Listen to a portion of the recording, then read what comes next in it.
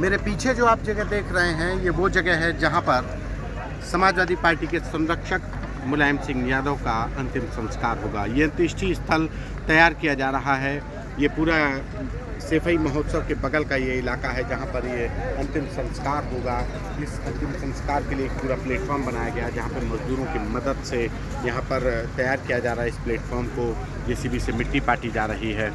आम और चंदन की लकड़ियों की मदद से समाजवादी पार्टी के संरक्षक, समाजवाद के अलम्बरदार मुलायम सिंह यादव का अंतिम संस्कार होगा और ये मंच उसी लिए सजाया जा रहा है कि जो सेफई की पहचान, जो इटावा और सेफई के लोगों के लिए एक संरक्षक थे, उन मुलायम सिंह यादव के अंतिम दर्शन, अंतिम संस्कार के लिए लोग पहुँच रहे हैं। उसी के लिए ये पंडाल बनाया गया है पंडाल के बाद ये प्लेटफॉर्म बनाया गया है। इसी प्लेटफॉर्म पर यह अंतिम संस्कार होगा।